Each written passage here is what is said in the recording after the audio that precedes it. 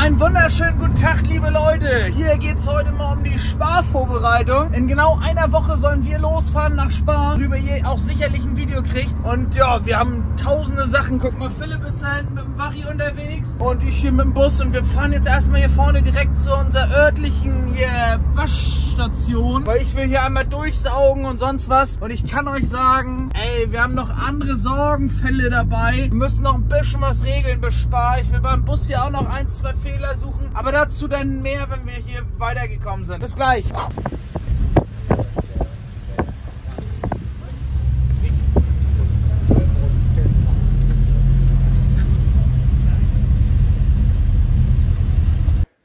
Soll ich dir das Ritzel mitgeben einfach? Weiß ich nicht. Hatte ich hier damals doch Fanny, glaube ich, ne? Der Vermieter aus Boston. Hier, lass kurz dir das mal rein. Ja, auf jeden Fall.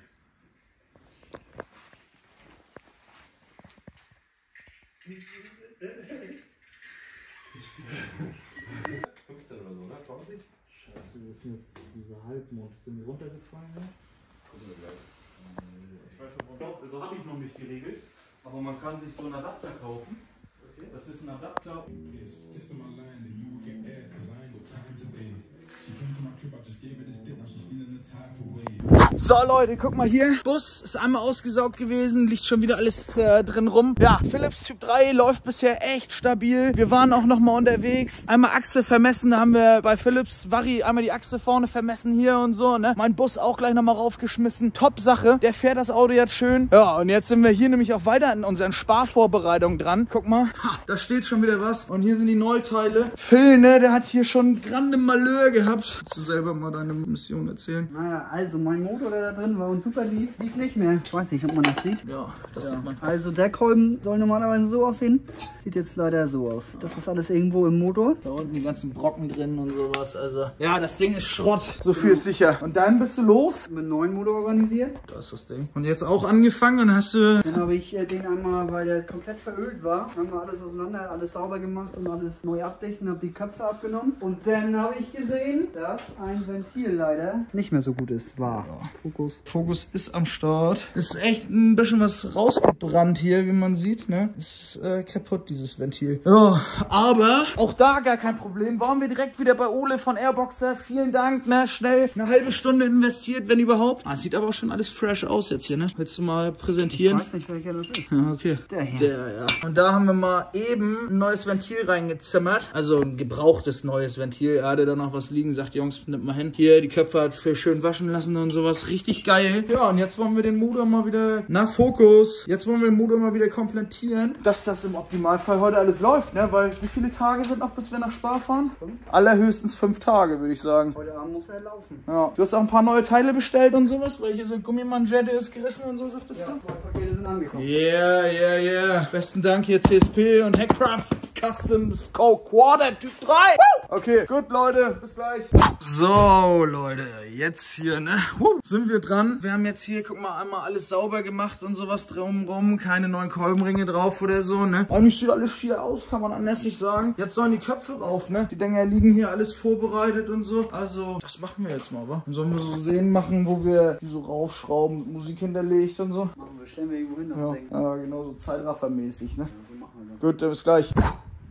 So, hier ist jetzt einmal Motor umgestellt und so, wie man vielleicht sieht, ne? Jetzt wird äh, unten vorbereitet für die Stöße, Schutzrohre da und so, ne? Da ist viel dran. Ich guck mal drüben in die Pakete, dass wir für die Ölpumpe hier oben eine richtige Dichtung finden und so. Naja, müssen wir mal sehen, ne?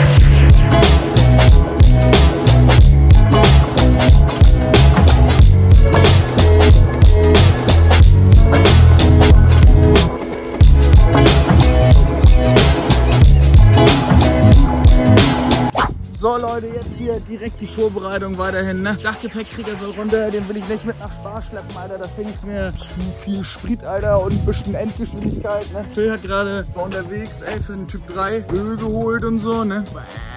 Yes. Oh, jetzt geht's da drin weiter und so. Ich muss den Dachgepäckträger jetzt noch runternehmen. Weg.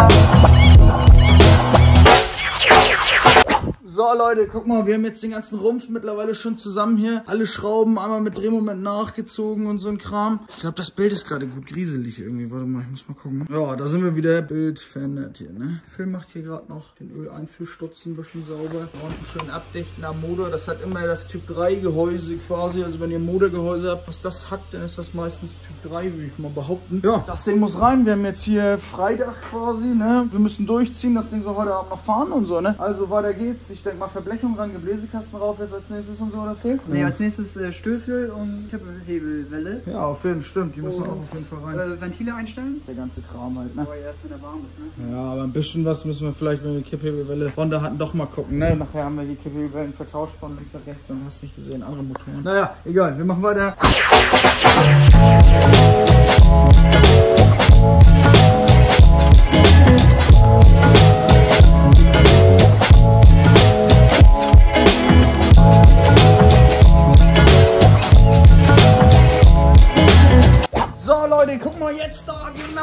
Hier. Das ist ja auch schon wieder später. Wie lange haben wir jetzt das letzte Mal? Eine Stunde sind wir bestimmt zwei. Ja. Ja, zwei. Ja, guckt selber, Alter. Der Motor ist so gut wie zusammen schon wieder. Guck mal, hier sind so tolle Sachen angebaut. wie Diese Schläuche, Vergaser sind schon alles drauf. Hier mit der Verrohrung, Zündkabel, alles so wie das sitzen soll. Du weißt, was mal richtig geil wäre? Ja? Nachher Schläuche so vorbefüllen und so, dann nur kurz orgeln und dann läuft der direkt, Alter. Man nix hier mit Zündung, oh, da sitzt ein Stecker nicht, oh, hier kommt Sprit nicht, ah, so. Direkt ein Runner, ne? Ja. Ist ein Runner. Denn hier machen wir 395 jetzt eben fertig. So Leute, guck mal, Motor komplett vorbereitet. Wir wollen einbauen. Das ist ein guter Ding, ne? Richtig revidierten Motor haben wir hier gezaubert. In wenigen Stunden wieder, Alter. Geil, dann wird gleich gefahren, wa? Jo. Attacke! So Leute, guck mal hin hier. Das Aggregat hängt hier alles fertig und so. Sieht ganz sauber aus. So ein Wasserkabel da, so ein braunes hatten wir jetzt nicht mehr, ne? Das gab's noch nie bei mir, komischerweise. Na, dann soll es das nicht sein. Ja, hier beim Gastzug mussten wir noch ein bisschen rumtricksen, da seht ihr. Da ist vorher so ein Adapter zwischen gewesen. Ja, jetzt wird hier nochmal gepeilt, ob der Öl auch gut aussieht. Ja, so nix. Ja, dann vielleicht nochmal einen Ticken rauf. Und dann hoffen wir, dass er jetzt gleich wirklich direkt zündet, ne? Also kipp mal rauf und dann lassen wir ihn laufen. Ich will ihn einfach laufen sehen mal. Was wird sich denn da gefreut? Naja, Leute, gleich seid ihr da. Ja, Phil, dann lass mal laufen, das Ding, Alter.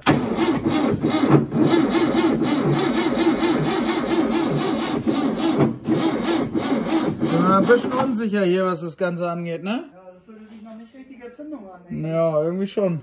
So, Leute, das Ding lief hier auf 1. Ähm, musst du drücken. Ja. Das Ding lief hier auf 1. Jetzt müssen wir mal gucken, dass wir die Zündung schön abblitzen. Also laut Gefühl ist sie schon gar nicht schlecht, aber mal gucken hier. Ja, aber das Ding ist am Start, würde ich sagen. Ja, klappert auch nicht so hochgradig wie der andere und so. Geil wäre natürlich nochmal mit dem Synchrontester rauf, ein bisschen Feinabstimmung, ne? Leerlauf könnte. Ja, aber er läuft eigentlich, ne? Gut, bis gleich. So Leute, Sparvorbereitungen gehen weiter. Phils Auto hier rennt jetzt ganz schön, oder was? Ein Logo, Alter. Ja, die sollen nachher noch mal einmal ein bisschen hier CO einstellen und so. Und Philipp hier ist auch ordentlich unterwegs. Wir haben ein bisschen uns vorbereitet hier für Spar schon mal. Heiße Geil, oder? so. Ja, läuft der denn geil hier oder was? Oh, geil. Sieht auch schick aus. Was ist denn jetzt hier mit den Felgen? Bleib, behältst du die drauf oder? Erstmal ja. Besser ist es. Ja, wir fahren jetzt auf den nächsten Flohmarkt. Mal gucken, ob wir noch ein paar geile Sachen für Spar finden. Aber wir sind auf jeden Fall hier schon mal ready. Malde fehlt natürlich noch mit dem Kübel. Und dann können 800 Kilometer nach Belgien kommen, würde ich sagen. So, Leute, guck mal. Ich gehe jetzt noch mal schnell am Bus ran. Hier hinten die Pellen, die sind nämlich blank. Ich habe was gefunden. Hier bei uns im Altreifencontainer. Die sollen darauf. Dann habe ich für Spar nämlich nochmal neue Pellen. Und auch ansonsten gehe ich den ganzen Bus noch mal durch. Check alles durch, ob wir soweit ready sind. Aber ja, ich habe hier keine Befürchtung. Ich habe ein, zwei Sachen, die ich prüfen will, auf jeden Fall. Aber erstmal Räder runter jetzt hier.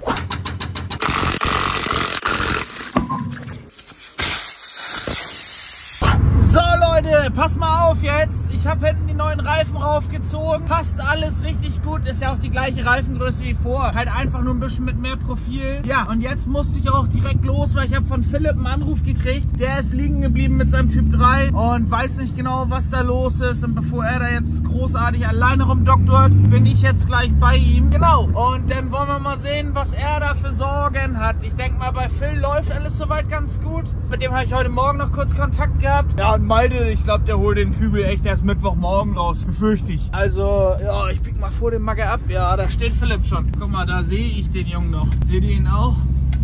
Naja, fahr ich mal ran und dann gucken wir mal, was er hat hier, wa?